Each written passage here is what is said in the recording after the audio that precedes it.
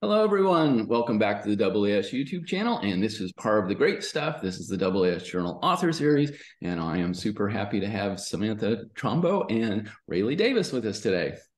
Hello, Rayleigh. Hello, Samantha. Hi. Hi. Thanks for having us. Oh, well, thanks for agreeing to talk about your very lovely article on this January 31st. Oh my gosh, 2023 is going so fast. already in January. Goodness.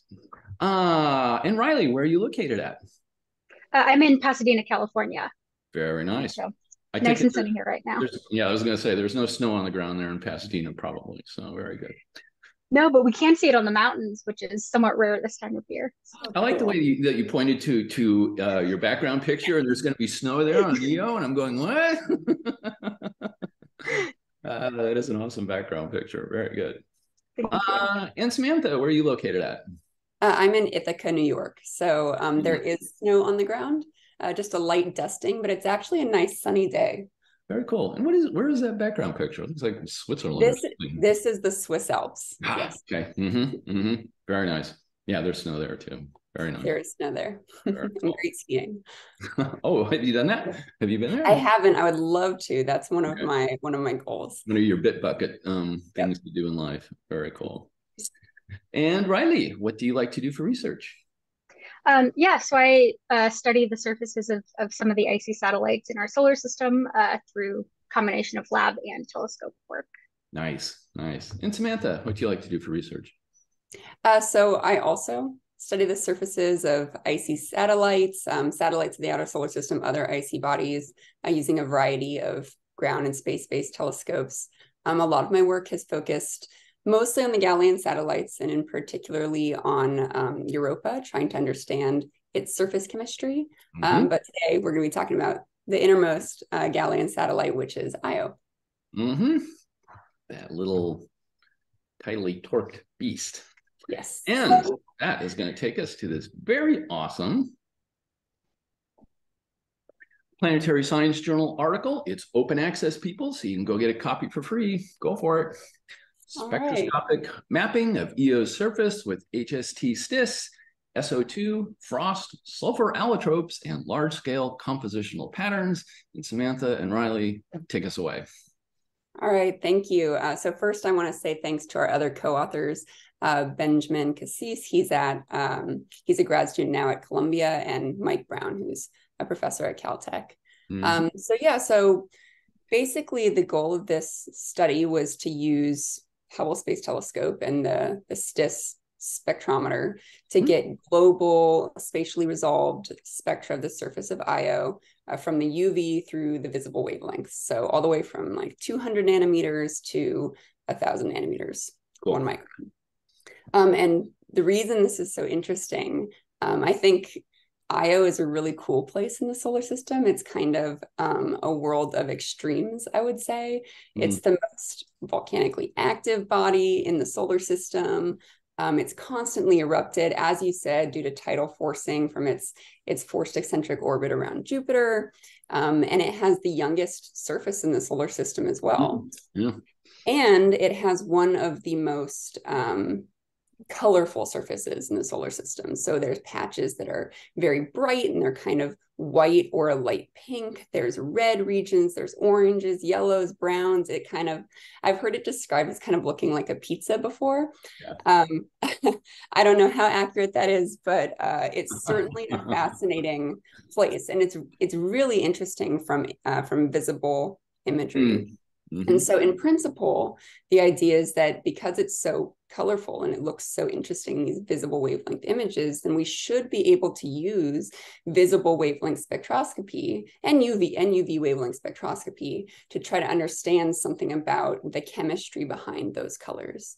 Um, and so that has been done before, but only ever um, with very little spatial resolution. So there's been either kind of full disk uh, so the whole disk integrated into one spectrum. Yeah. Uh, measurements of its UV visible spectrum, or there's been highly spatially resolved broadband images, which are just you know one spectral measurement at a you know broadband filter around one wavelength, which with very little spectral detail. Okay. And so what was missing was kind of the bridge between those two things: spatially yeah. solve spectra at a, a, moderate spatial resolution that could directly link um, things diagnostic of composition and chemistry that you can see in the spectra, spectral features, to spatial patterns on the surface uh, reflective of geological processes. And so that was our goal here with HST STIS.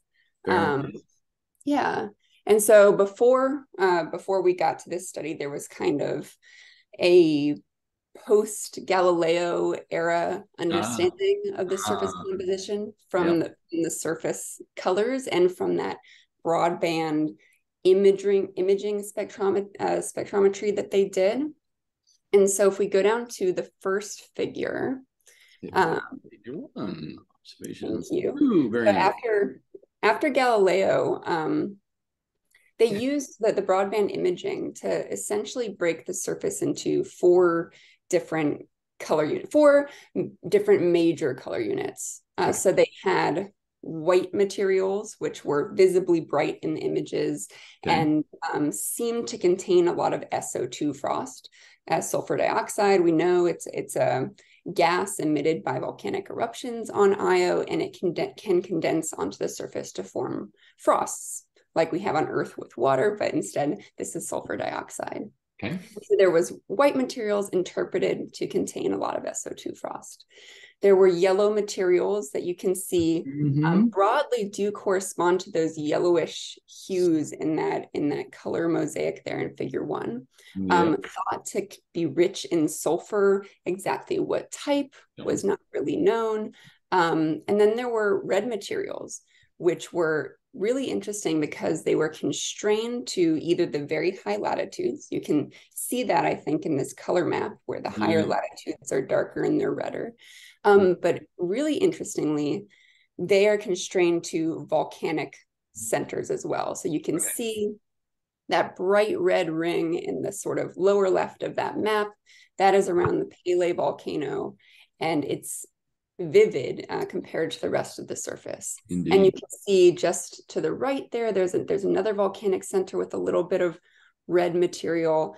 And so Galileo saw this redness mm-hmm. um, very acutely associated with with volcanic centers. And so that makes it really interesting.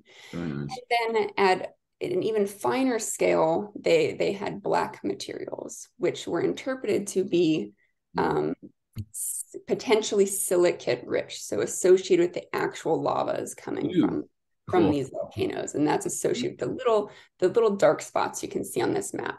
Mm-hmm. And so what we're doing in this figure is we are using our, our global HST data set uh, to pull out just representative spectra of those of three of those four color units. So the white material, yellow material, and red material, which we could resolve well at our spatial resolution to just show this is what an actual spectrum of those materials um, looks like, uh, which was not entirely known before. So on the left is the UV, and you can see that there's this kind of characteristic W shape that's either more pronounced or less pronounced. That is just SO2 frost. That's what SO2 frost looks like in the UV. So the white materials strongly resemble SO2 frost the yes. red and yellow slightly less. Less. And then um, over on the right, okay. you can see that the the white materials have shallower slopes overall across the um, the uh, near UV and, and short wavelength visible. Yeah. Um, the yellow materials have a really strong absorption edge starting at about 500 nanometers or so. And then the red materials are defined by this dramatic absorption feature yeah. near 560 nanometers. Mm-hmm. And so there are clear spectral differences between these different units okay. um, that we can see with HST.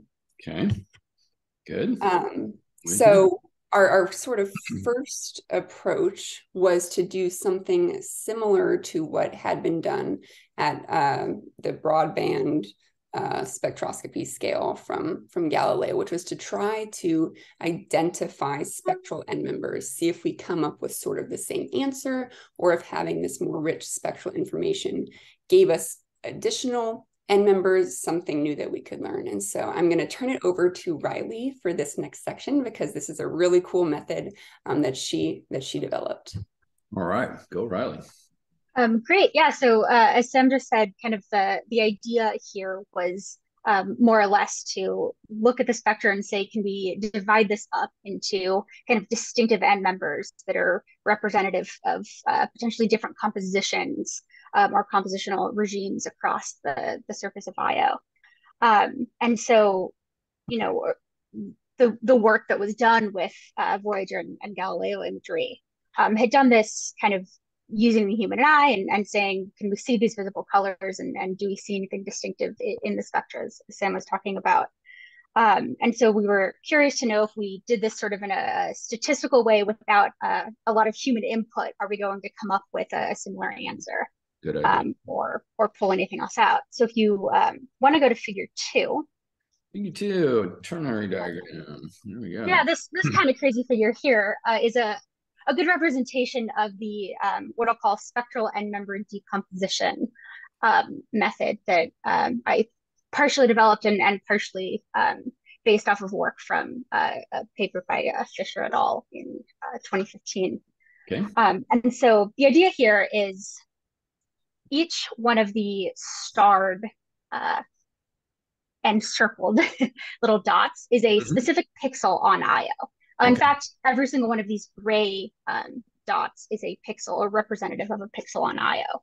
Okay. Um, okay. And so, using a pretty classic statistical test, um, I grouped these um, all, all, of the pixels into uh, a number of end members um, and said which groups are most statistically similar, okay. Um, and use those as a starting point.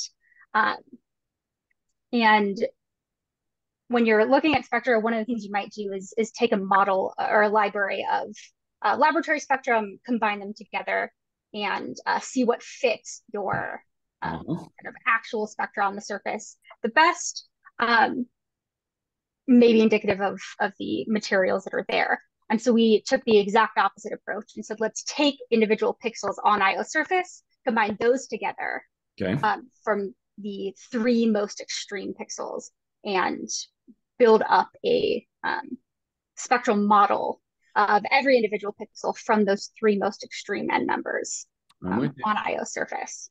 Okay. So, uh, is there any is there any meaning to the uh, random walk essentially here of the dotted connected lines? Yes. So we we start at each of the stars. So those are our first three most extreme end member pixels. Uh-huh. Um, and then for each one of those, um, every single pixel in IO is um, we compute a model for it based on those three. And once we have that, we can calculate a residual sum of squares error. So say how good is this Got fit, it. not for an individual pixel, but summed across all of the pixels. Um, does this do a good job of describing all of the compositional variety across um, across IO? And one at a time, we'll change that end member. So we'll say instead of this specific most extreme pixel? Is there another more extreme pixel that does a better job of capturing all of, of the compositional differences across IO?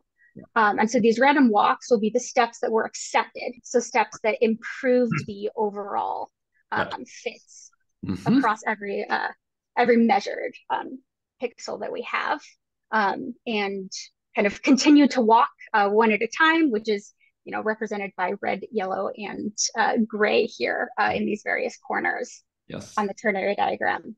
Cool, thank you. Um, yeah. So that was the method we used. Um, and now if you want to go to the figure three, we can kind of look at what did this tell us about, uh, mm. about the surface. Sorry, there we go. So um, now plotted here, we have the three most extreme end member pixels that were um, kind of iterated to or selected by um, this process. And, and what you might notice is they're fairly reminiscent of the kind of original um, visible by eye um, components uh, represented by colors that we, we see on the surface. So you have this um, component one, which is quite reminiscent of that pretty steep slope between, yes. you know, 350 and 500 nanometers. Mm-hmm. Um, you have the uh, component two, which matches very well to the kind of yellowish material um, that has a bit of that absorption feature um, mm. around uh, 550 and um, kind of that steep drop off shortwards of 500, um, as well as matching component three, which was those more reddish materials um, that you might see, uh, for example, around Pele's ring um, and in, in, the upper and lower latitudes. Okay. Um, so cool. it was, yeah, kind, kind of interesting that, that this is pulling out pretty similar um, things to uh, what you'd see in the visible. But then the question is, how do they map across um, across mm. Io surface? Right. And so figure four is okay. where you can see each of those. Beautiful, beautiful. Those mapped. Okay, fractional abundance. So let's zoom in a little bit there. Okay. Ah, there we go. All right. Um, great. So uh, now these uh, beautiful maps show, uh, you know, for an individual pixel, it is some combination of components one, two, and three that is the best fit model for that pixel. Um, and so, you know, something that is almost entirely component one um, is going to look very, very red in that uh, top component one map. And if there's almost no uh, contribution from component one in that best fit model, it will look very dark, uh, kind of blue okay. um, in, in that component map. Um, the physical locations of, of these end member pixels that were selected um, are shown by the white star in each one of um, those images. Mm-hmm. Yep. That black circle is is showing you where, where Pele is, that kind of very distinctly red um, mm-hmm. you know, that, that we can see on the mm-hmm. surface.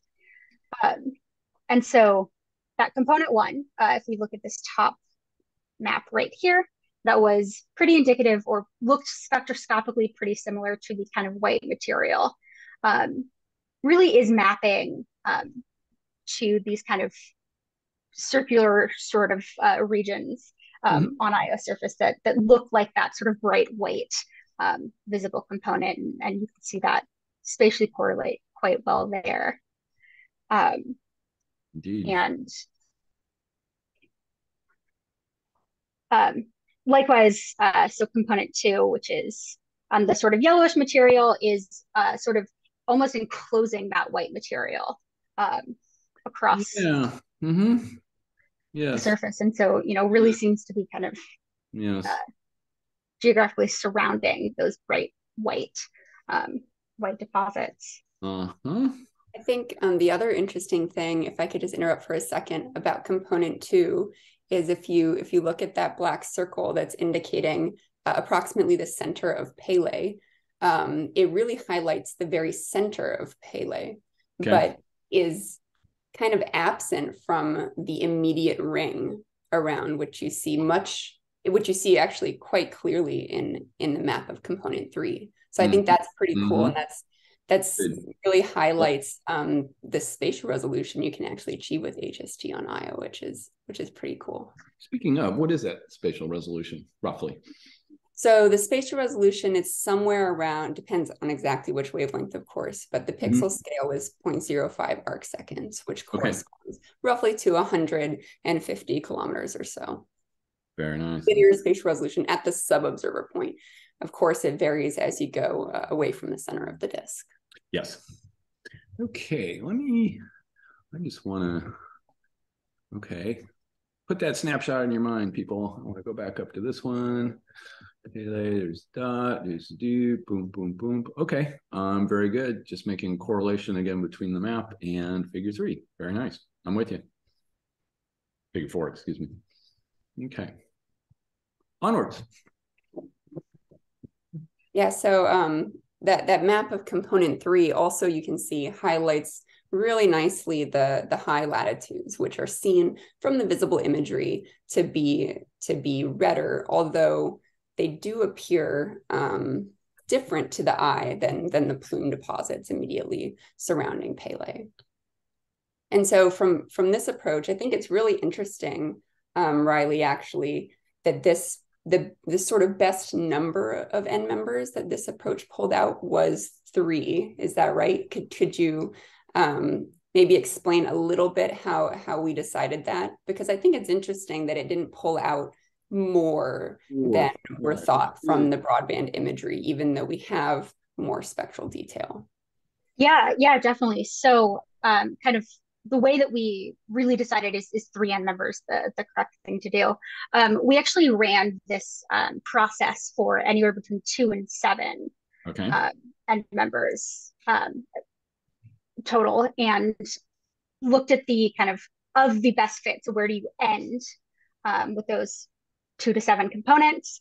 Um, sum up the residual sum of, of errors. So how well does this fit across the surface? And what you can see is sort of a, you know, almost exponential um, change as you increase the number of um, end members Okay. with what that sort of summed residual is. And so you really see a drop off in how much adding an additional component um, improves your fits across the surface. Yes. Um, and so, you know, when that flattens off, you can say, well, you can add another component, but it's more or less doing the same thing as, as an individual, you know, as one less component. Um, so likely two of them are, are similar enough that um, you don't need that additional component to, to describe the surface, Degree. of um, at least at this spatial resolution. Yes. Understood. Great. Yeah. Yeah, so jumping off from there, um, so that was our first approach to looking at the data. And um, our second approach was to go through and look at individual absorption features, spectral features that we could map across the surface that might individually be representative of different species. The end member approach really looked at the whole spectrum, the whole continuum Okay. um, as as one, right? And mapped and and, and deconvolved that into the three end members that that Ryleigh spoke about. But we can see individual features uh, in the spectra as well. Uh, one perhaps surprising thing was that even though these are the first spatially resolved, full global spatially resolved spectra of Io's surface at these wavelengths, we don't see any spectral features that were not already seen at the full disk scale. Okay. So Okay. we see them to varying degrees and we can map them across the surface and associate them with individual geologic terrains and, and specific surface processes, but there's no undiscovered feature that we've newly revealed for the first time, Okay. which is interesting, I think, in, uh, in its own. So uh, what we do is we look at the spectral features that we do see and that have been investigated to a degree from uh, full disk spectroscopy from the ground. Mhm. Um, and those are the UV absorption features if you, uh, from figure one, which are indicative of SO2. Um, Yes. That overall big drop in reflectance starting at about 500 nanometers, which Yes. was very strongly associated with the yellow materials, but is also seen in the red materials and even to a degree in the white materials. uh-huh. And then that dramatic 560 nanometer absorption, which seems characteristic of the red materials. So if we go down to figure um, five, I believe, Okay. you can see SO2 Um. SO2. So this is the map uh, of SO2 frost that we infer from our UV spectra. Okay. And you can see, uh, so red here is is more SO2 deduced from that, that one band that we have, um, and blue is less. And you can see that it's really mimicking the um, visibly white regions in the global mosaic from uh, Voyager and Galileo up here. So Mhm. that's it's interesting. It's kind of telling us that, you know, even though the very first map of this SO2 was made during the Voyager era, Yeah. um, this is incredibly stable. You know, Io is so dynamic and it's continuously erupting, but SO2 really wants to be in these places and it's stable in these regions over many decades. So, um, even though this is not necessarily a new result, it's interesting to see the consistency, I think, all the way since the Voyager passes. absolutely. Definitely. Um, so if we go to the next figure, cool. figure six. Very cool. Five and six, 380 to 500. Yes. So here we're looking at that overall uh, drop in reflectance starting at about 500 nanometers, which we call the 380 to 500 nanometer absorption edge. And you can see that when you map this, um, it's sort of high, it's it's just very anti-correlated with the SO2. The SO2 rich regions do not show Yeah. this feature strongly. everywhere else essentially shows it strongly. It doesn't make a super big distinction on its own between the high latitudes and the mid latitudes or Pele's ring versus not Pele's ring, um, because this feature is is universal outside of the, the SO2 deposits. It's part of the yellow materials, it's part of the red materials. And this is sort of a difference, uh, shows a difference in approach between the end members the end member approach, which is considering the entire spectrum to, to differentiate between the, the different compositions and looking at a specific feature, because this seems to be present in um, all of these terrain types outside of the SO2 rich deposits. Nice. I'm with you. Um, if we go down to the next figure, I think this is the most interesting map from, from looking at the individual absorption features. Um, because this is the map of that 560 nanometer absorption, Ooh. which okay. which seems to be uh, representative of the red materials. It's its defining feature. And if you isolate that absorption and map it across the surface, you see Pele's ring uh, pop out, which is interesting. Mm. Nowhere else at the equatorial latitudes seems to contain this feature except mm. for Pele's ring. Yeah and then it's present in the highest latitudes. And so this is telling us that whatever uh, chemically is responsible for this absorption feature, it has to be related to active plume processes. It okay. can't be old volcanic deposits at the equatorial latitudes where it would be widespread. It's only in the plume, which we know is being continuously replenished. Okay. And it has to be related to something specific about the high latitudes. Um, mm-hmm. Mm-hmm. Exactly what that is, we we will get to in a minute. But oh, this is what we can learn from the spatial distribution. Very good. So if we go down now, I think we can we can talk about the last figure and sort of what this all means uh, mm. uh, or doesn't mean chemically. So um, what we've done so far is we've basically we've deconvolved the spectra into end members, mapped them across the surface, and look for spatial variations that we can correlate with terrain type, geology, past observations by spacecraft missions. Um, we've mapped individual spectral features and done the same sort of thing, and we've come to these three distributions where the we know what the SO2 is. That's firmly identified. We know where it is. Mm-hmm we see the yellow materials at the equatorial to mid latitudes widespread. And the feature that is um, characteristic of the yellow materials essentially all over the surface, except for where we have a lot of SO2. Mm-hmm, mm-hmm. see the red materials in Pele's ring and yep. at the high latitude, and the 560 nanometer feature, which is its defining characteristic also mm-hmm. only in Pele's ring and at the high latitudes. And so the question is, okay, that's all very nice, um, but what does it actually mean in terms of composition, and what is it telling us about Io's surface chemistry? And here we run into a little bit of a conundrum because um, you can see from this this figure where we're plotting numerous sulfur species that have been discussed in the past over decades for as mm. potential um, candidates for the surface of Io. And you can see how similar they look at these wavelengths. Okay. Um, the features we're looking at, they're very broad. They, if they're both present on the surface, they're probably interacting with each other in terms of, you know, overlapping in wavelength.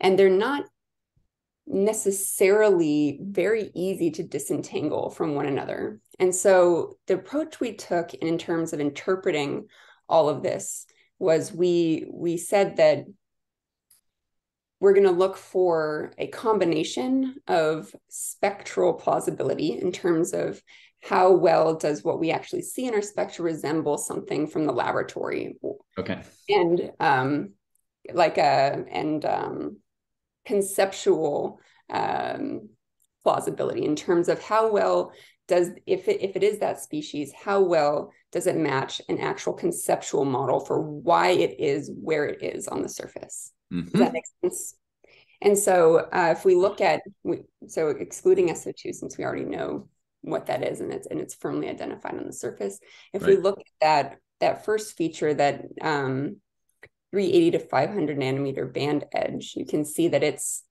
it's seen to a degree with varying wavelength shifts and slightly different slopes in yeah. all these spectra of, of sulfurous materials. Um, we know from chemistry that S8 is the most stable form of sulfur okay. at IO surface conditions. Um, you can see that it's a reasonable match to the spectra. Mm-hmm. So that is probably present, mm-hmm. but there is some disagreement, I think, in the three to 400 nanometer region where you see that there is a more gradual slope transition in those spectra of Io than you see in yeah. S8, for instance. Yes.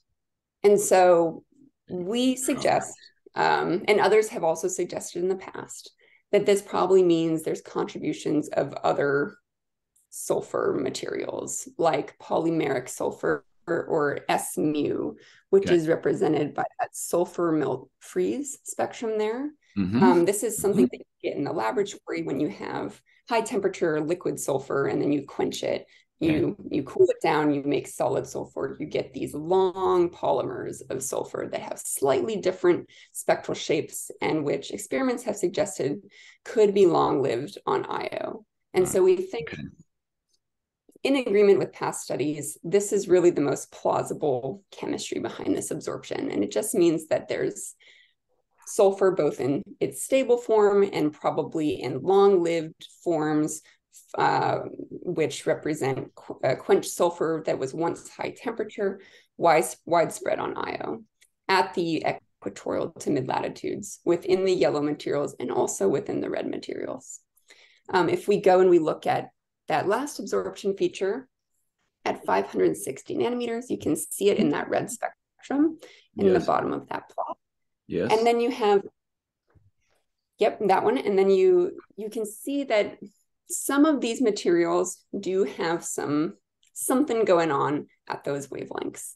Um, yeah. Sodium, sodium sulfide has an absorption there. Yep. S4 has a nearby absorption there. Mm-hmm. Um, S2O has a, a massive absorption that kind of bottoms out right there. Yep.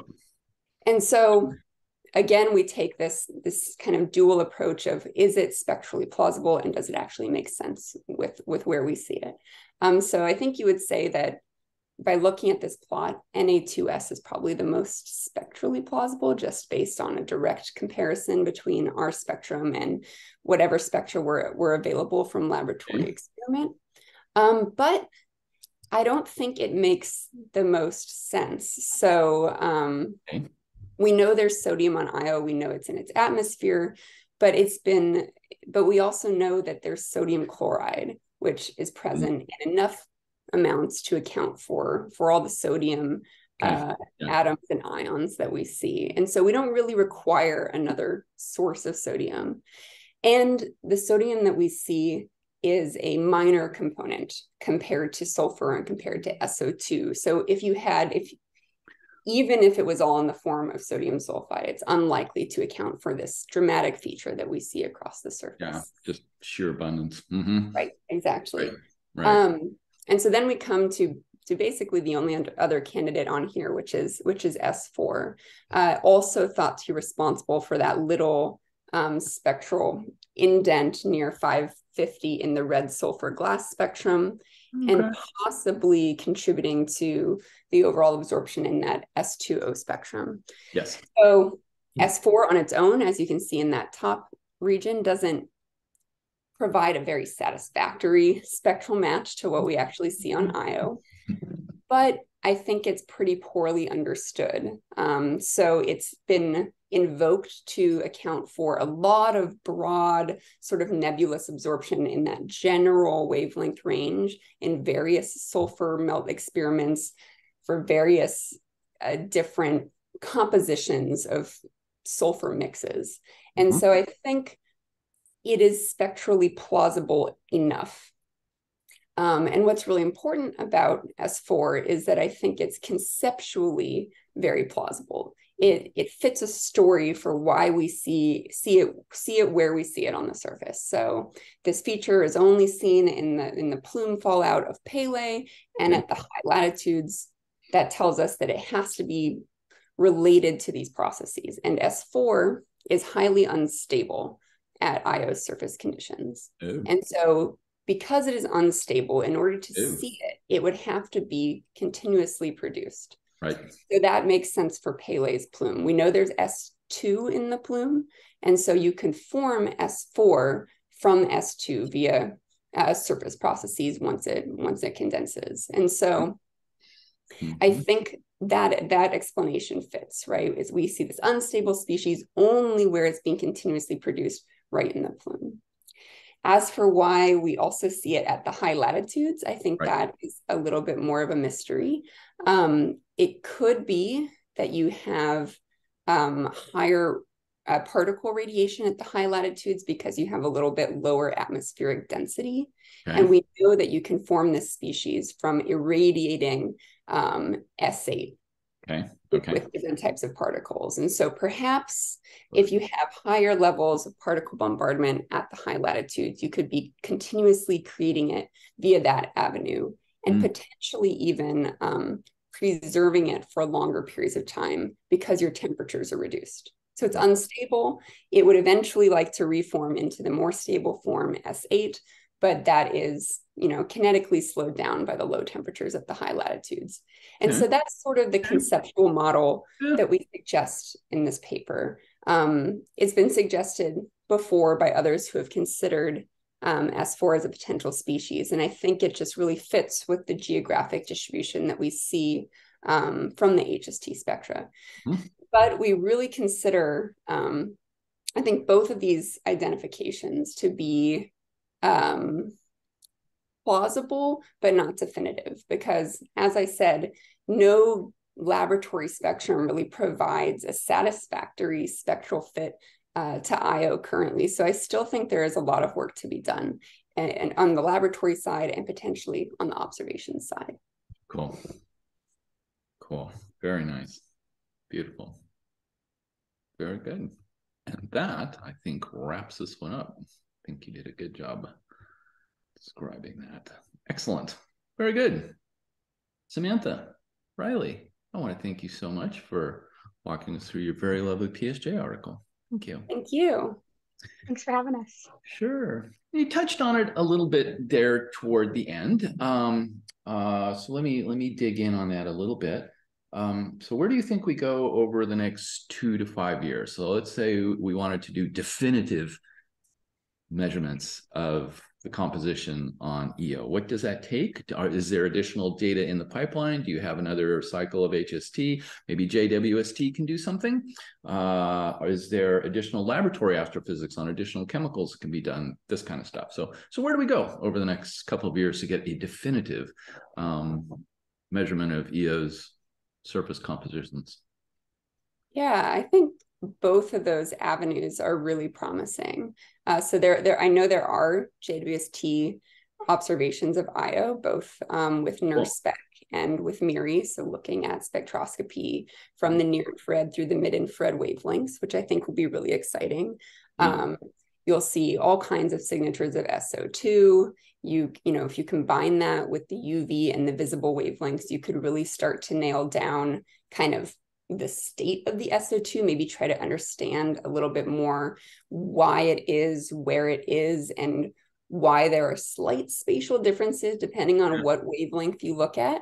Mm-hmm. Um, mm-hmm. I'm also really excited for the mid infrared data because I think it, it might be a good chance to confirm the, the presence of silicates on Io. It's always been inferred, um, yeah. from you know from the visible imagery and also from the temperatures inferred for the for the volcanic eruptions but it hasn't spectroscopically been seen. And so yeah. their exact composition has not been identified. And i think if you could do that with jwst you you would learn a lot about the the subsurface chemistry that's going on uh, within those volcanoes. Okay.